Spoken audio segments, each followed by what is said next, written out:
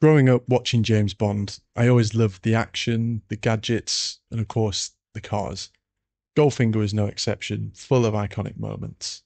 So naturally, when we were given the brief to design Phantom Goldfinger, it was really exciting.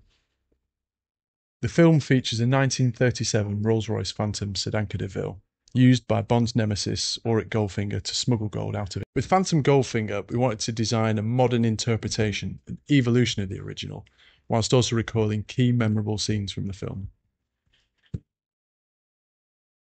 The car contains a host of whimsical features, which in some cases have been playfully hidden to echo how Goldfinger conceals the gold in the coachwork of his Rolls Royce.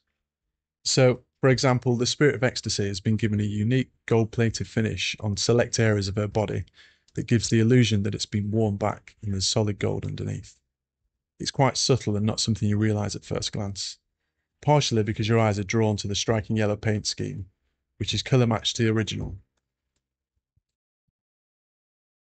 One key Rolls Royce moment in the film is when Bond is following Goldfinger driving along the Furka Pass in Switzerland. Here we've designed a phantom gallery that features an artistic isoline map of the Swiss Alps, with the Furka Pass highlighted by a slither of gold. The clock surround at the centre is inspired by the gun barrel opening sequence of Goldfinger and many subsequent Bond films. Another subtle reference to this scene is the golden hue constellation depicted in the Starlight headliner which references the day that the Furka Pass scene was shot, the 11th of July, 1964. The film's storyline can also be found on the inside of the picnic tables, where we've recreated, through a gold inlay, a fictional map of Fort Knox, the US gold reserves which Goldfinger plans to attack in the film. To complement this storyline, there's also an 18 carat solid gold speedform housed inside the centre console of the car as if it was secured in a vault.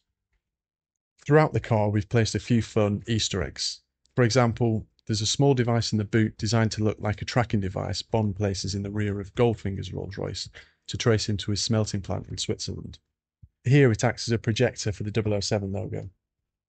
Inside the boot lid, we've mounted a gold plated golf putter, which references the first meeting of Goldfinger and Bond during a round of golf.